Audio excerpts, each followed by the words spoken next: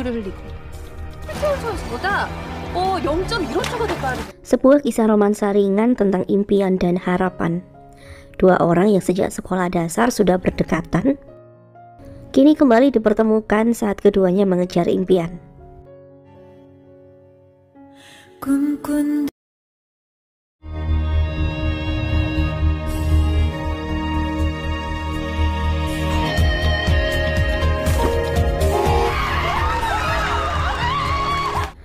Cerita diawali dengan seorang gadis bernama Kim Bok-ju yang sudah menekuni angkat besi sejak ia duduk di bangku sekolah dasar. Kini ia adalah salah satu atlet dari Universitas Hanul yang memiliki impian menjadi atlet nasional. Ia adalah atlet andalan universitasnya dan juga keluarganya. Terlebih lagi ayah Bokju adalah mantan atlet angkat besi pula. Di tempat berbeda, seorang pemuda tampan dan populer di kalangan atlet-atlet renang adalah Jun Hyung. Ia sukses mencetak rekor yang membuatnya langsung bersinar. Cerita kemudian berfokus pada kehidupan kampus Bokju dan Jung Hyung. Bokju mendapatkan latihan lebih ekstra karena ia adalah andalan di kampusnya. Sementara Jun Hyung sendiri mulai memiliki trauma yang membuatnya tidak bisa fokus dan hal tersebut berakibat fatal karena ia didiskualifikasi dalam pemilihan atlet nasional. 네, 그렇습니다. 이렇게 되면 또 실격인데요. 야 김선수 기분 좀 풀어. Pertemuan kembali Bokju dan Jun Hyung terjadi secara tidak sengaja. Jun Hyung yang sedang mengendarai sepeda kesayangannya tiba-tiba menabrak Bokju yang sedang berjalan-jalan dengan sahabatnya. Sosok tampan Jun Hyung membuat sahabat Bokju bernama Nahi terpesona. Namun Bokju tidak tertarik dengan pemuda itu. Ia bahkan merasa aneh karena melihat sapu tangan Brenda yang tidak sengaja tertinggal saat Jun Hyung terjatuh tadi.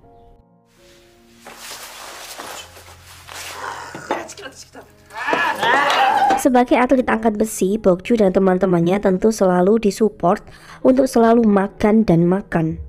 Sedangkan untuk atlet-atlet pesenam, mereka justru sangat dibatasi dalam hal makanan. Perbedaan inilah yang sering membuat atlet angkat besi selalu dibanding-bandingkan secara fisik dengan atlet-atlet pesenam. Namun Bokju merasa sangat percaya diri karena ia pasti akan menemukan pria yang bisa melihat pesona yang ia miliki. Sekalipun secara fisik, ia jauh dari atlet-atlet pesenam. Perdebatan dan perselisihan antara tim angkat besi dan tim pesenam memang sering terjadi secara turun-temurun. Dan suatu hari, Bokju tidak sengaja mendorong salah satu atlet pesenam dan membuatnya cedera dan hal tersebut membuat semua tim angkat besi dihukum karena pertikaian tadi. Dan setelah meminta maaf kepada pesenam yang manja, Bokju dan sahabatnya melampiaskan kekesalannya di tempat rahasia mereka. Kemudian saat hendak kembali ke kamarnya, Bokju memilih untuk bersembunyi di ruangan mesin cuci karena mereka takut ketahuan oleh penjaga asrama. Namun saat itu Bokju malah menemukan pria cabul yang mencuri pakaian dalam atlet-atlet perempuan. Dan saat mengejar pria berjaket hitam itu, Bokju menangkap Jun Hyung yang saat itu turun diam-diam dari kamarnya karena ia hendak pergi ke klub dengan temannya. Bokju membuat kehebohan dengan melaporkan Jun Hyung sebagai pria cabul tadi. Bokju sangat yakin bahwa Jun Hyung pelakunya karena Junhyung memiliki sapu tangan Brenda yang biasanya dimiliki oleh perempuan.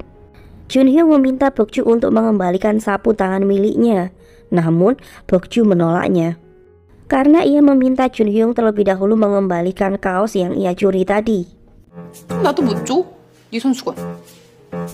Namun, Junhyung tentu tidak bisa melakukannya karena ia bukanlah pencuri pakaian dalam wanita.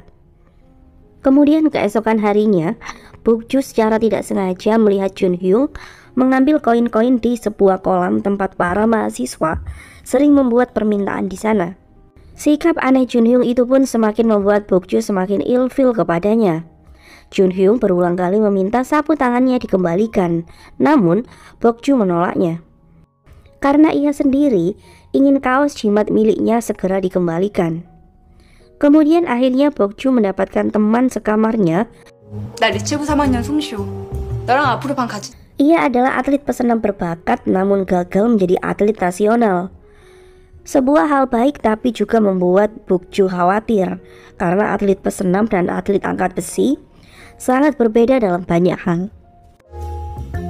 공간이 너무 없어서 감기 걸리면 안 되거든. 미안. 들었냐? 기숙사 변태 잡혔댄다. Kemudian hari itu Bokju mengembalikan sapu tangan Jun Hyung karena pelaku pencuri cabul telah tertangkap. Namun Jun Hyung yang sangat kesal karena Bokju mencuci sapu tangan miliknya Padahal itu adalah kenang-kenangan aroma ibu Jun Hyung yang masih ia simpan sejak dahulu. Jun Hyung kemudian tak sengaja mendorong Bokju yang tidak bisa berenang. Kemudian karena merasa kasihan ia pun menyelamatkannya.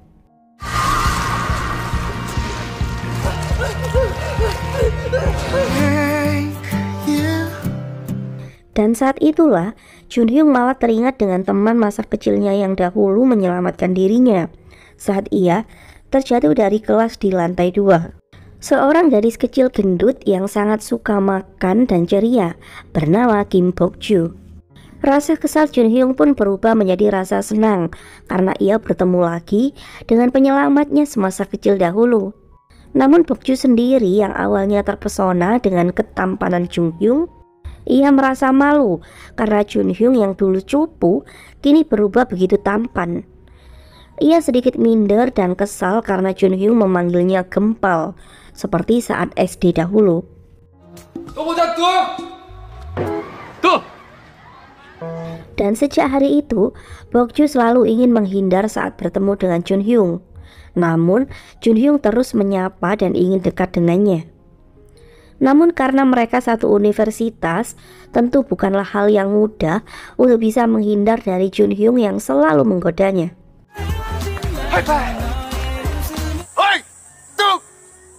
Dan pada suatu hari, Bokju akhirnya sudah tidak bisa menahan diri dan ia pun melarang Jun Hyung untuk memanggilnya gempal. Ia bahkan tidak segan untuk memukul Jun Hyung jika ia terus memanggilnya gempal. Namun Jun Hyung yang sudah bukan bocah cupu, tentu ia tidak takut dengan ancaman Bokju. Sekalipun Bokju benar-benar menghantam kepalanya saat itu. 야, 나 아까 다가오는데 생명의 위협을 느꼈어, 엄마. 강냉이 갖다 드릴게요. 친구야, 우리도 직 Kemudian di kala hari libur, Bokju membantu usaha ayam goreng ayahnya. Ia bahkan menjadi kurir untuk mengantar pesanan para pelanggan. Dan hari itu ia tidak sengaja bertemu lagi dengan Jun Hyung yang memesan ayam ayah Bokju. Jung Hyung semakin kagum dengan Bokju yang multi talenta dan sangat pekerja keras. Ia kemudian berpura-pura tidak ada uang receh agar Bokju yang terlihat lelah bisa sejenak beristirahat. Namun Bokju malas berlama-lama dekat dengan Jun Hyung dan ia pun memilih untuk pergi. Jun Hyuk pun terpaksa datang ke kedai Bokju dan membayar pesanannya tadi. Padahal pesanan tersebut ternyata sudah dibayar oleh Bokju sendiri. 뭐 그냥 현금 주대? 가도 계산 안. Kekeluargaan tim angkat besi sangatlah erat. Pelatih mereka bahkan rela memotong anggaran makan demi mendapatkan angkutan yang lebih layak. Ia bahkan mengeluarkan dana dari kantong pribadinya untuk bisa memberi makanan yang layak kepada para atlet-atlet angkat besi.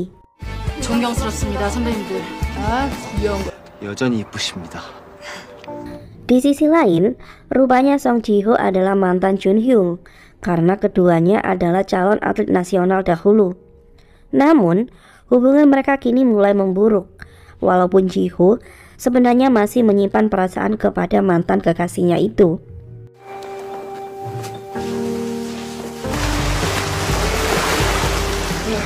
Jun Hyung sendiri memiliki seorang kakak laki-laki yang seorang dokter spesialis berat badan. Walaupun ia bukan kakak kandung Jung Hyung, ia sangat peduli kepada Jun Hyung, termasuk dengan trauma yang Jun Hyung miliki. Dan kakak Jung Hyung yang bernama Ji Yi adalah teman dari dokter para atlet di Universitas Hanul. Setelah membahas tentang Jun Hyung, Ia pun dengan serius meminta adiknya untuk segera memulai terapi menghilangkan traumanya. Junhyun kemudian memberikan payung kepada kakaknya saat ia hendak pulang karena hari itu hujan turun. Dan dalam perjalanan ke klinik, ia tidak sengaja bertemu dengan Bokju yang terlihat kasihan karena ia harus berjalan dengan beban yang berat di bawah derasnya hujan. Sikap sangat sopan dan penuh perhatian dokter Ji pun membuat Bokju jatuh cinta untuk pertama kalinya.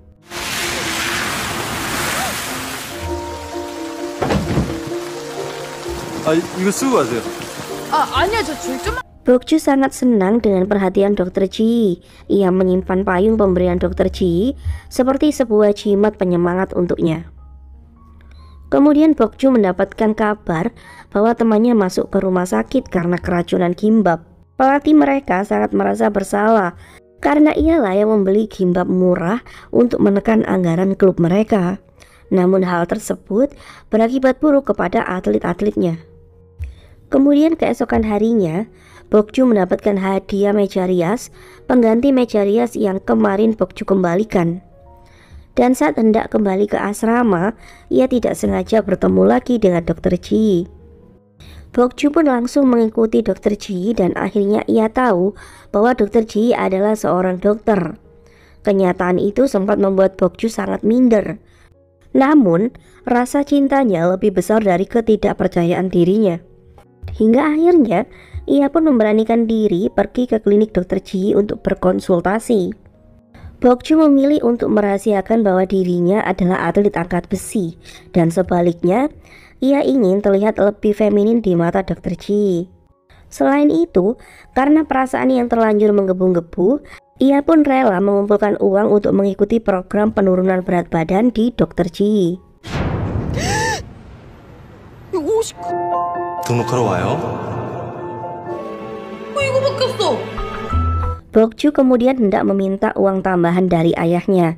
Namun, melihat ayahnya yang masih memiliki sepeda butut, ia pun mengurungkan niatnya untuk meminta uang tambahan. Bayangan dokter Ji selalu mengisi hari-hari Bokju, namun ia belum juga mendapatkan cara untuk bisa mendapatkan tambahan biaya. Dan hal tersebut hampir membuatnya gila. Hingga kemudian sebuah kesempatan emas pun datang untuk Bokju. Pekan depan, Universitas Hanul mengadakan perlombaan climbing antar jurusan dan hadiah perseorangan adalah 300 dolar.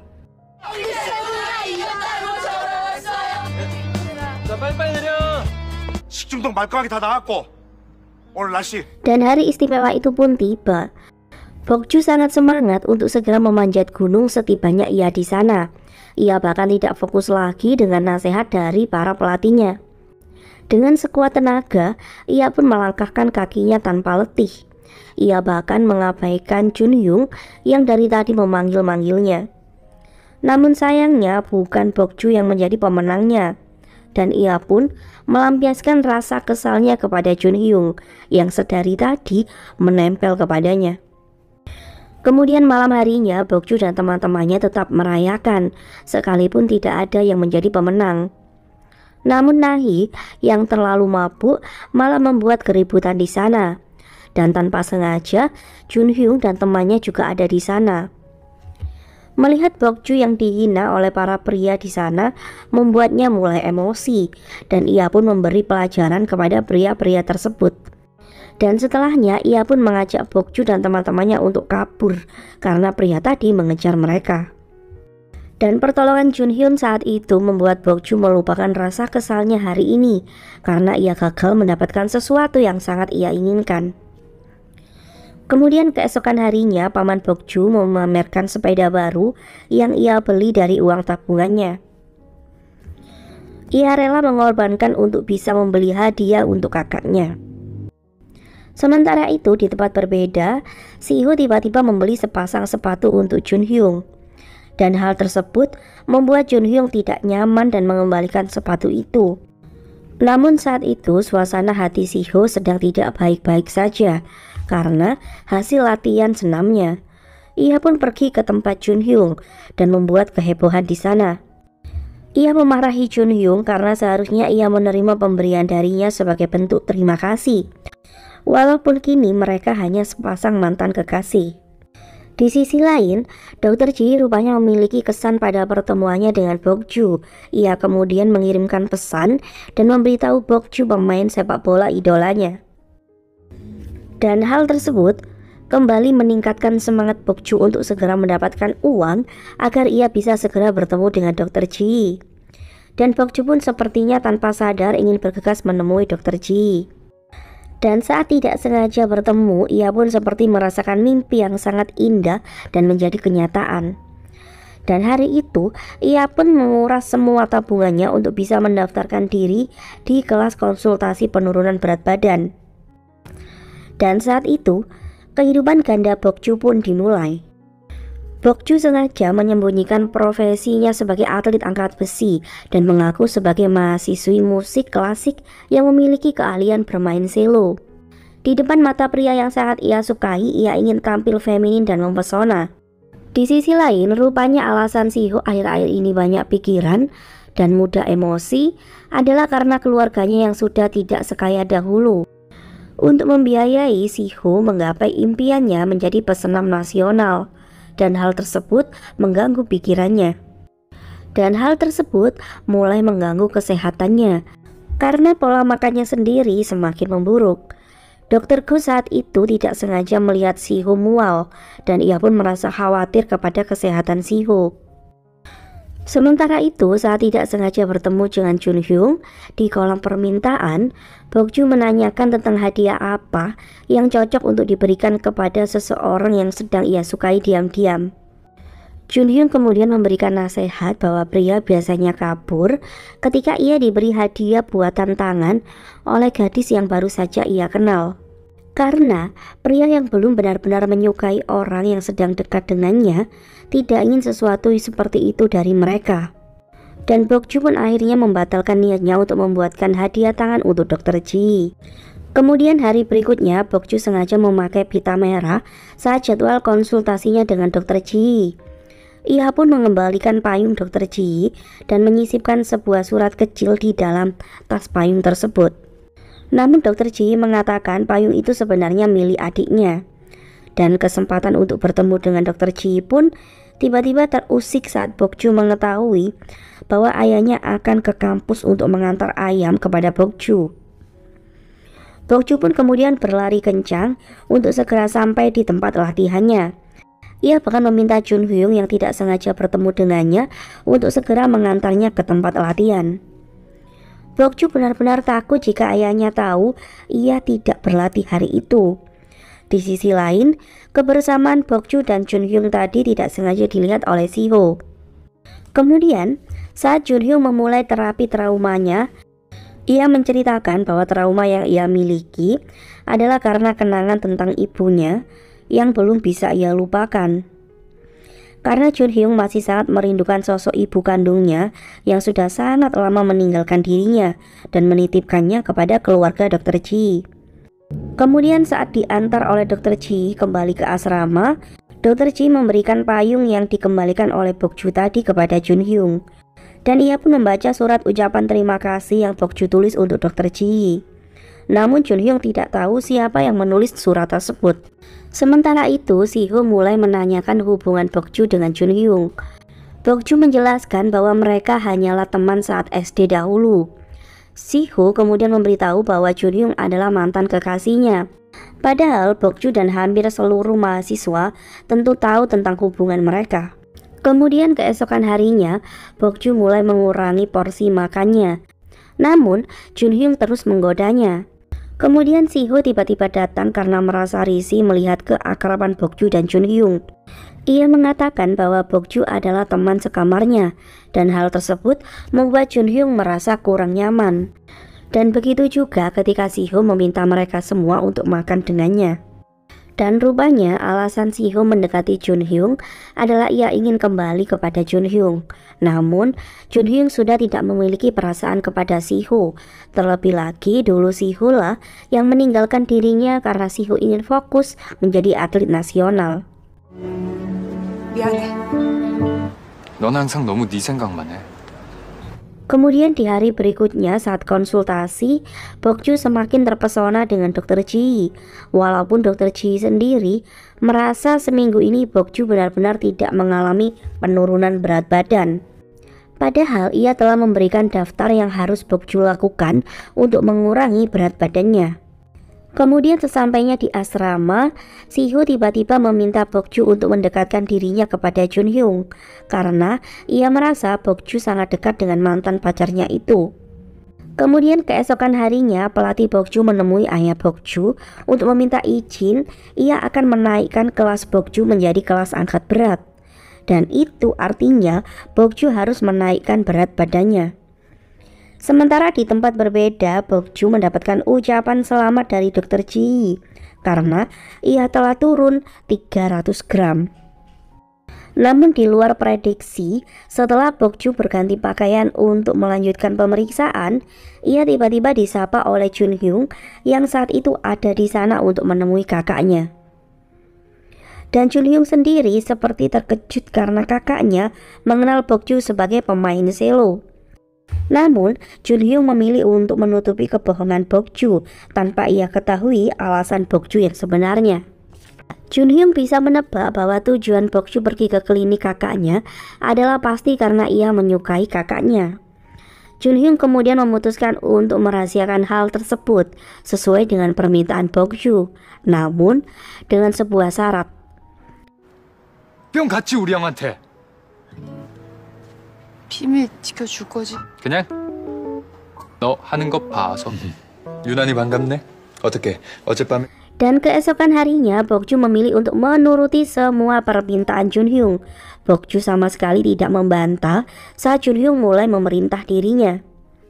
Kemudian saat sesi konsultasi dengan dokter Ji, Bokju dengan kesal menceritakan tentang Jun Hyung yang terus mengganggunya. Dokter Ji meminta Bokju untuk lebih sabar karena Jun Hyung sebenarnya adalah anak yang baik. Bokju memuji dokter Ji yang memiliki sikap dewasa dan wajah yang lebih tampan dari Jun Hyung. Hal tersebut membuat dokter Ji senang karena kebanyakan orang lebih memuji ketampanan Jun Hyung daripada dirinya. Dan hari berikutnya, Jun Hyung merasa kesal karena seniornya menghukum Jung Hyung dengan menuliskan namanya sebagai peserta angkat beras mewakili klub mereka. Olahraga itu tidak terlihat keren, sehingga menjadi sesuatu yang dihindari oleh semua mahasiswa di sana. Kemudian Jung Hyung bertemu dengan Si Ho yang telah menunggunya. Ia ingin mengajak Jung Hyung untuk makan pizza kesukaan Jung Hyung bersama. Namun Jung Hyung yang sudah tidak memiliki perasaan seperti dulu kepada Si Ho, ia pun tentu menolaknya. Namun Si Ho tidak berkecil hati dan tetap memiliki harapan kepada Jung Hyung.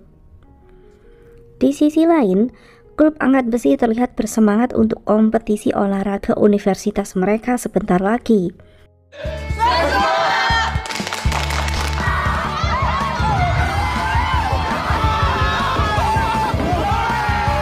Semua terlihat antusias kecuali Jung Hyung yang memilih untuk bersembunyi di tempat bermain game, alih-alih ikut berpartisipasi dalam acara tersebut. Kemudian Si Ho datang untuk menemani Jung Hyung. Pertandingan antara klub angkat besi dan klub senam menjadi kompetisi yang paling dinantikan.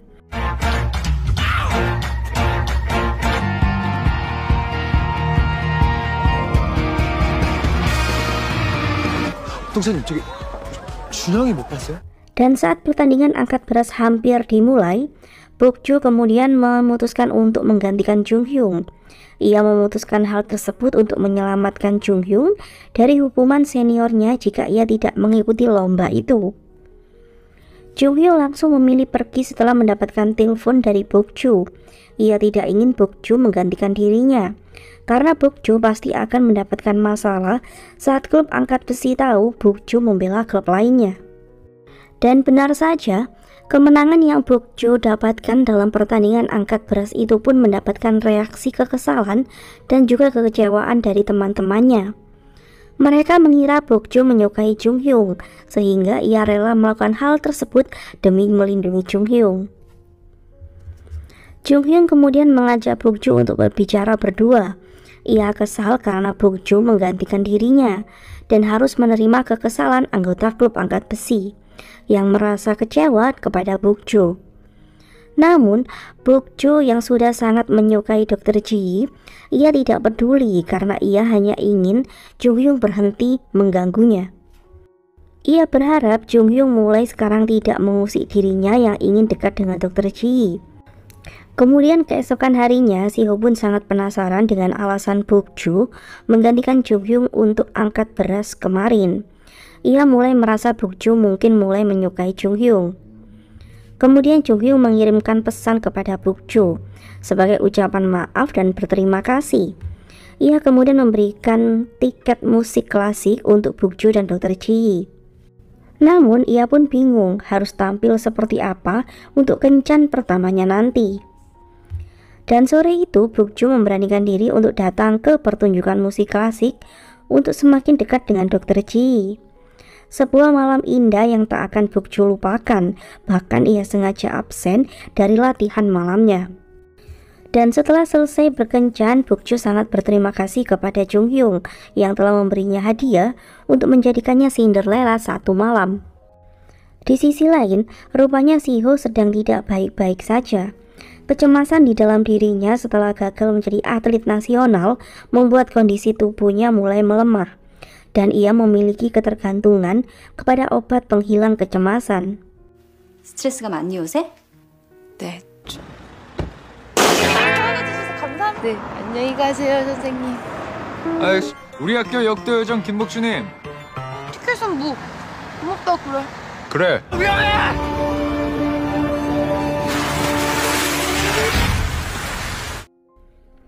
Sementara itu, setelah menggunakan Bokjo sebagai pelindung air cipratan mobil di jalan tadi, Jung Hyung seperti memiliki perasaan yang berbeda kepada Bokjo. Namun karena Bokjo terlihat sangat menyukai kakaknya, ia pun merasa cukup dengan melihat Bokjo bahagia, memperjuangkan perasaannya kepada Dr. Ji. Keesokan harinya, ayah Bokjo datang untuk memberikan izin putrinya untuk ikut dalam program kelas berat. Namun, hal tersebut justru menjadi sesuatu yang sangat mengejutkan dan juga menyedihkan untuk Bokjo. Karena ia sekarang tidak bisa menambah berat badannya jika ia ingin tetap bisa bertemu dengan Dr. Ji. Pelatih Bokjo meminta hal tersebut karena ini yang terbaik untuk klub angkat besi mereka. Bokjo bisa memberi peluang untuk mereka yang di bawah levelnya agar bisa mengikuti kelasnya. Dua sahabat Bukjo sangat antusias mendukung Bukjo untuk menaikkan berat badan. Tanpa mereka ketahui alasan Bukjo sebenarnya ingin menolak hal tersebut. Di sisi lain, Jung Hyung meminta izin pelatihnya untuk mendaftarkan dirinya dalam sebuah kompetisi kecil. Walaupun kompetisi itu tidak berdampak pada prestasinya, Jung Hyung ingin berlatih melepaskan traumanya. Kemudian Bokju bertemu dengan Jung Hyung dengan raut wajah sedih karena ia harus naik kelas. Jung Hyung menyuruh Bokju untuk fokus kepada karirnya saja, alih-alih mendekati kakaknya dengan mengorbankan olahraga angkat besinya. Dan tentu saja Bokju yang sedang jatuh hati kepada Dr. Ji, ia pun merasa kesal mendengar nasihat dari Jung Hyung itu. Mulai hari itu, pelatih Choi secara pribadi memantau Bokju. Ia memastikan Bokju harus menaikkan berat badannya. Dan akhirnya, saat sesi konsultasi dengan Dr. Ji, Bukju merasa sangat bersalah kepada Dr. Ji karena berat badannya naik kembali. Dan tidak hanya para pelatih saja, ayah Bukju bahkan dengan spesial mengirimkan makanan ke tempat Bukju agar putri kesayangannya bisa sukses naik ke kelas berat. Kemudian saat makan bersama, Nahi tidak sengaja membaca pesan dari Dr. Ji untuk Bukju yang mengingatkan jadwal konsultasi mereka. Nahi pun akhirnya tahu rahasia Bukju. Ia merasa kasihan dengan cinta pertama Bukju yang berjalan tidak mulus. Di tempat berbeda, Siho dengan begitu perhatian membuatkan Jun Hyung obat herbal karena mengetahui Jun Hyung sedang flu berat. Padahal sebentar lagi adalah hari pertandingan Jung Hyung. 약이다 생각하고 좋은데? Kemudian keesokan harinya Nahi mulai membantu Bukju agar ia tidak terlalu naik berat badannya. Ia diam-diam membantu Bukju untuk menghabiskan makanannya. Nahi bahkan mulai membantu Bukju untuk berdandan lebih imut saat ia akan bertemu dengan dokter Ji. Dan Bukju selalu merasa bersalah karena berat badannya tetap naik. Ia takut mengecewakan dokter Ji. Namun, dokter tampan itu tidak mempermasalahkan hal tersebut. Dokter Ji kemudian bercerita tentang trauma yang dimiliki oleh Jung Hyung. Ia terlihat khawatir memikirkan pertandingan Jung Hyung hari ini. Dan sepulang dari sesi konsultasi, Bukjo secara khusus membuat permintaan di kolam kampusnya agar Jung Hyung bisa memenangkan pertandingan hari ini. Sementara Jiho sendiri, ia terlihat secara khusus datang ke pertandingan Jung Hyung. Dan Jung Hyung sendiri, ia terlihat masih gugup dengan traumanya.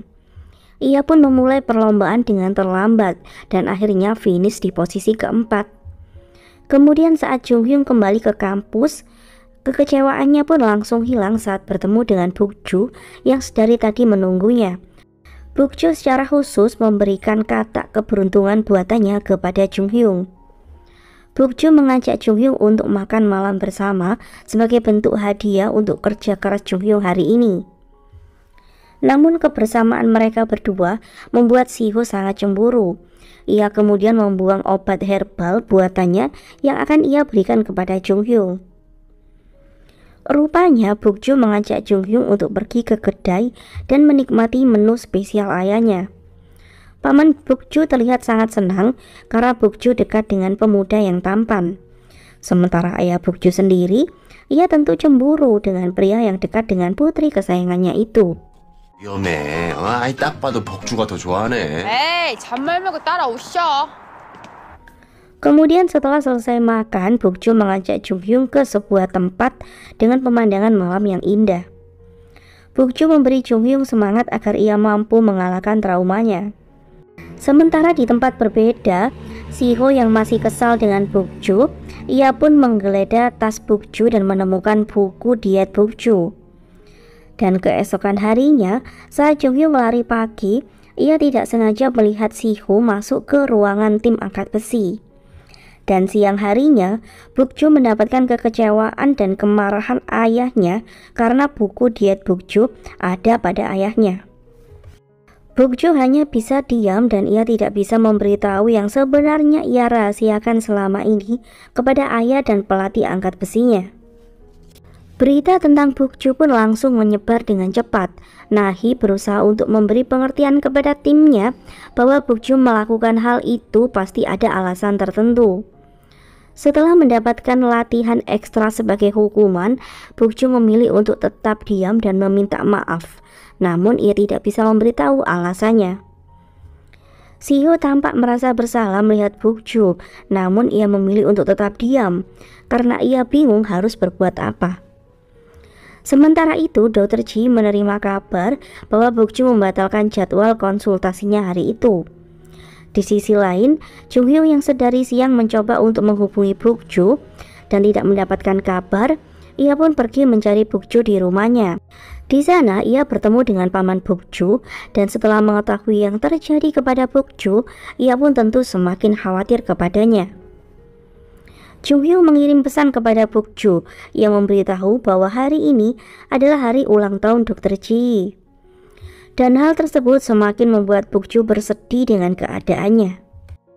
Selain itu, ayah Bukju sendiri juga sangat kecewa. Ia pun mulai mengurung diri karena kesal dengan tindakan Bukju. Ia bahkan berniat untuk menemui dokter diet Bukju. Namun kemarahannya membuat penyakitnya tiba-tiba kambuh dan ia pun pingsan di depan rumah. Malam itu, Bukju memutuskan untuk berhenti dari program di klinik dokter Ji. Dan sebagai hadiah perpisahan sekaligus hadiah ulang tahun untuk dokter Ji, ia pun membawa tanaman hias ke tempat dokter Ji bekerja. Kemudian ia pun bergegas pergi. Dokter Ji yang mendapatkan hadiah manis itu tentu sangat senang. Ia pun mencari keberadaan Bokju. Jung Hyung sangat lega saat Bokju mengangkat teleponnya. Namun, belum sempat berbicara lama, Bokju mematikan telepon karena pelatih Choi mengawasinya. Kemudian saat Bokju hampir mendapatkan hukuman lagi oleh pelatih Choi, Nahi akhirnya memberitahu yang sebenarnya kepada pelatih Choi. Setelah mengetahuinya, pelatih Choi pun meminta maaf kepada Bokju. Ia bisa mengerti bahwa Bokju kini dalam proses pendewasaan. Dan keputusan Bokju untuk fokus kepada impiannya pasti adalah hal yang sangat sulit. Dan ia pun pasti selalu akan ada di samping Bokju. Melihat Bokju menangis di pangkuan pelatihnya, membuat Jung Hyung merasakan apa yang dirasakan oleh Bokju sekarang. Jung Hyung kemudian menggoda Bokju dengan sepotong sosis. Ia menghibur Bokju karena tidak ingin Bokju terus-terusan bersedih. Ia kemudian mengajak Bokju ke kedai daging untuk makan bersama. Song Uk terlihat kesal karena Nahi dan Bokju merahasiakan program diet Bokju darinya. Ia merasa kecewa dengan dua sahabatnya itu. Keesokan harinya, ayah Bokju menyuruh Bokju untuk pulang sebentar. Ia dengan malu-malu memberi hadiah lipstik kepada putrinya. Ia meminta maaf karena ia terlalu mementingkan angkat besi dan tidak peka bahwa Bukjo tetap adalah seorang gadis remaja yang memiliki keinginan sama seperti remaja pada umumnya. Di sisi lain, latihan ekstra Siho selama ini pun berbuah manis. Karena hari itu, ia pun berhasil menampilkan kemampuan terbaiknya dalam pertandingan. Namun setelah kembali ke kampus, ia mendapatkan pesan dari Jung Hyung yang mengajaknya bertemu. Siho tentu sangat senang karena Jung Hyung mengajaknya bertemu di hari bahagianya. Namun, ternyata Jung Hyung datang hanya untuk menanyakan alasan Siho melakukan hal seperti kemarin kepada Bokjo. Jung Hyung yakin Siho lah yang sengaja memberikan buku diet Bokjo kepada pelatihnya. Siho tentu sangat kesal dan ia pun menolak untuk meminta maaf. Ia bahkan melabrak Bokju karena mengira Bokju lah yang melaporkan dirinya kepada Jung Hyung. Namun, setelah mengetahui bahwa Siho yang mencuri buku dietnya, Bokju pun semakin kesal hingga mereka berdua pun saling berdebat. Dan Bokju yang kesal itu akhirnya memilih untuk tidur di kamar temannya. Kemudian sesampainya di kamar Nahi, Bukju menceritakan perkelahiannya dengan Siho. Namun, Sung Uk yang merasi merasa kesal ia pun bersikap seolah-olah tidak peduli. Kemudian Jung Hyung menelpon Bukju. Ia meminta maaf karena ulah Siho. Jung Hyung tidak menyangka Siho akan melakukan hal tersebut kepada Bukju. Jung Hyung kemudian mengajak Bukju untuk bersembunyi saat penjaga asrama datang memeriksa atap. Jung Hyung tetap memeluk Bokju karena merasa lebih nyaman. 그냥 봐줄만 하게 이뻐. 너도 가까이서 보니까 Kemudian keesokan harinya, Jung Hyung kembali mengikuti konsultasi untuk penyembuhan traumanya. Sebuah trauma masa kecil saat ibunya harus pergi ke luar negeri untuk memulai kehidupan baru tanpa dirinya. Namun, Jung Hyung bersyukur karena ia tinggal dan dibesarkan oleh paman dan bibinya yang sangat baik kepadanya. Di tempat berbeda setelah mengutarakan semua kesulitannya yang selama ini ia rasakan, Bokju dan Sun Ok pun akhirnya berbaikan. Mereka kemudian merayakan dengan makan ramen bersama.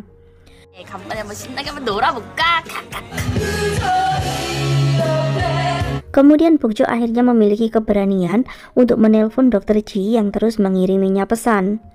Namun saat itu Bokju membuat alasan, ia pun sedang ada di luar negeri sehingga ia tidak bisa mengikuti program dietnya lagi. Dokter Ji memberi semangat kepada Bukju, namun hal itu membuat Bukju merasa sedih. Bukju kemudian menelpon Jung Hyung untuk menghilangkan kesedihannya. Dan Jung Hyung tentu langsung menemui Bukju setiap kali ia membutuhkannya. Bukju khawatir ia tidak bisa mendapatkan cinta sejati karena angkat besi yang ia tekuni. Hyun kemudian menghibur Bukju dengan mengajaknya untuk pergi menonton bioskop bersama. Dan malam harinya, Bukju sudah berada di gedung bioskop untuk menunggu Jung Hyun. Namun, karena Jung Hyun mendapatkan telepon dari rumah sakit, Jung Hyun pun kemudian menjemput Siho di sana. Karena Siho tadi tiba-tiba pingsan dan dibawa ke rumah sakit. Kemudian setelah mengantar Siho pulang, Jung Hyung langsung bergegas menemui Bukju yang tentu saja saat itu dalam keadaan sangat kesal kepada Jung Hyung yang datang amat sangat terlambat. Sebagai permintaan maaf, Jo Hyung kemudian mentraktir Bukju untuk makan sepuasnya. Dan sesampainya di asrama, kedekatan Jo Hyun dan Bukju kembali membuat Siho merasa kesal dan juga cemburu. Kemudian keesokan harinya saat Jung Hyung mengunjungi kakaknya, ia sangat terkejut karena kakaknya sedang dalam perjalanan untuk menemui teman kuliahnya di kampus Jung Hyung sendiri. Jung Hyung terlihat panik dan menghubungi teman-temannya untuk bisa menyelamatkan Bukju agar ia tidak bisa bertemu dengan kakaknya. Di tempat berbeda, Bukju pun terlihat sangat pulas untuk tidur di UKS. Hingga kemudian, Taekwon datang dan memberitahu yang sebenarnya kepada Bukju bahwa kakak Jung Hyung sedang dalam perjalanan ke sana.